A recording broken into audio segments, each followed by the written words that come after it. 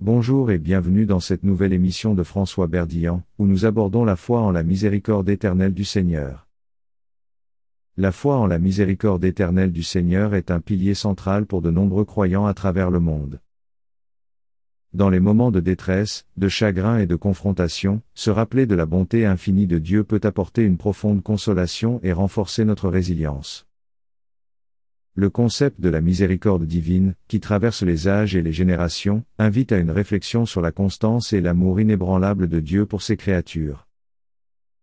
Les Écritures nous incitent à proclamer la miséricorde de Dieu, un thème récurrent qui unit les fidèles dans une reconnaissance commune de l'amour et du soutien de l'Éternel. Cette invitation s'adresse à tous, y compris la maison d'Aaron et ceux qui craignent le Seigneur, soulignant ainsi que la miséricorde de Dieu englobe tous ses adorateurs sans distinction.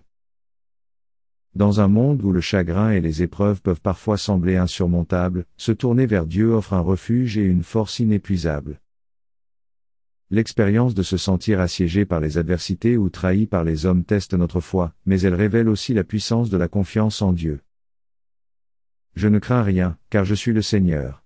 Que me fera l'homme?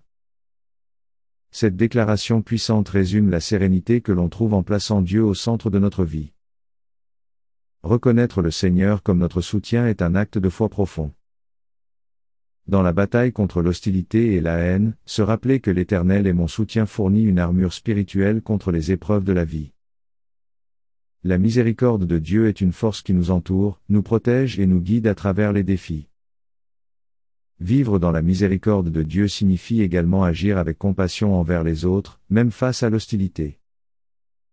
L'image de nation entourée de pitié au nom de l'Éternel incarne l'idéal d'une humanité unie par la bonté divine. Cette réciprocité de l'amour et de la miséricorde révèle la beauté d'une vie vécue en harmonie avec les enseignements divins. La miséricorde éternelle du Seigneur est une source inépuisable de réconfort et d'inspiration. Elle nous invite à voir au-delà de nos épreuves immédiates et à nous ancrer dans une foi profonde et inébranlable. En ces temps troublés, puissions-nous tous trouver refuge dans la bonté du Seigneur, reconnaissant sa miséricorde qui dure à travers les âges, et en devenant, à notre tour, des instruments de cette miséricorde dans le monde. N'oubliez pas de vous abonner pour ne rater aucun épisode de notre podcast. À la prochaine, pour une nouvelle immersion dans les richesses de la foi chrétienne.